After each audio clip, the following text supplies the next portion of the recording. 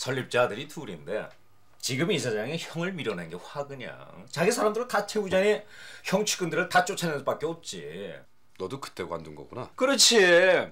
골치 아프잖아. 얼른 사표내버렸지. 응? 마침 다른 데서 프로포즈도 있었고. 야 지금 거기 난리도 아니다 어? 현 이사장 수족들은 사방에다 돈질하자고 댐비지. 밀려난 사람들은 교역 평교수 움직여서 다시 뒤엎으려고 그러지 아 말도 마라 아유 복마전이구만. 어. 야, 근데 거기 무슨 연고 있냐? 어? 어. 내 매제가 말이다. 어 그래 그 장진구. 어. 그 친구가 이번 학기에 거기 부임했어.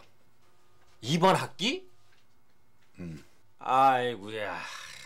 그런 거, 그, 그 김이사 줄이다. 어? 현이사형 오른팔. 아이 이번 학기에 음대 두 명. 그 영문과에 한 명인가 집어넣고 또 그 상경대에 한 명 집어 그렇게 집어넣었다더니 아이 그게 장진구였네.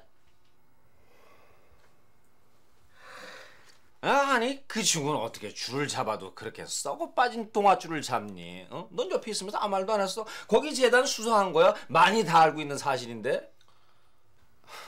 내 주변에서 그런 일이 벌어질 거라는 생각도 못했고 아, 또 장진구가 아무리 답답해도 그렇게까지 할까 그랬지. 나 참. 아, 야 게다가 그 김이사 별명이 뭔 줄 아냐? 응? 쌍끌이배야. 어?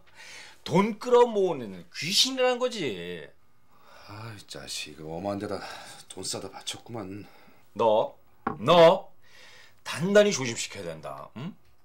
본인은 물론이고 너한테까지 구정물이 튀는 수가 있어.